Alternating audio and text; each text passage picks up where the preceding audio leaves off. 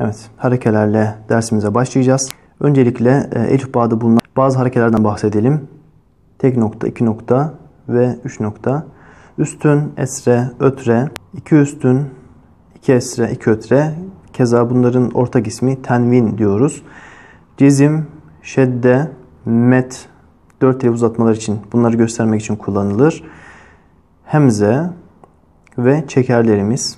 Evet, üstün harekesiyle başladık dersimize. Üstün harflerin üstünde gelir ve kalın harfleri A sesiyle, ince harfleri E sesiyle okutur. Hemen örneklerimize bakıyoruz. Ra kalın harftir. Kalın harf olduğu için Ra diye A sesiyle okuttu. Z ince harftir. İnce harf olduğu için üstün Z E sesiyle okuttu.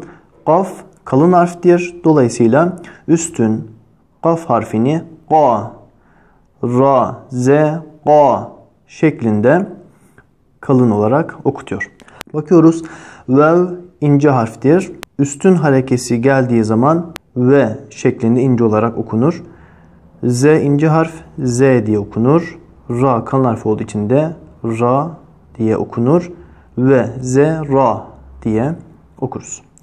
Zel ince harftir. Üstün harekesi geldiği zaman Z diye okunur.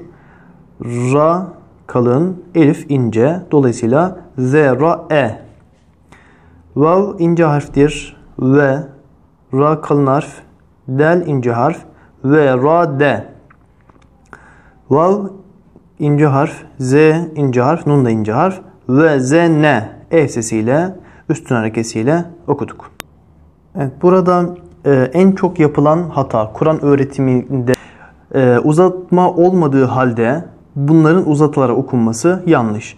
Ra, Z, Ka gibi bir okuma yanlış. Buna öğreticilerimiz ve öğrenen arkadaşlarımız dikkat etsinler. Ve, Z, Ra yanlış. Ve, Z, Ra şeklinde uzatma olmadığı için uzatmadan okuyoruz.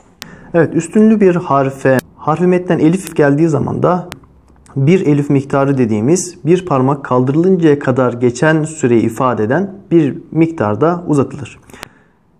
Kef ince bir harf. Üstün geldiği zaman E sesiyle okunur. K. Elif harfi medi geldiği zaman çekerek okuyoruz. K. Ne. Nun'un medi uzatması yok. Ha kalın bir harf. Dolayısıyla üstün geldiği zaman A sesiyle okuyoruz. Ha. B. B'nin uzatması yok. Ka. B. Zate. Zel ince bir harf. E sesiyle okuttuk. Harfi metten elif geldiği için uzatarak okuyoruz. Zate.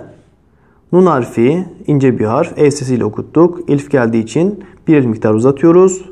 Nese şeklinde okuyabiliriz.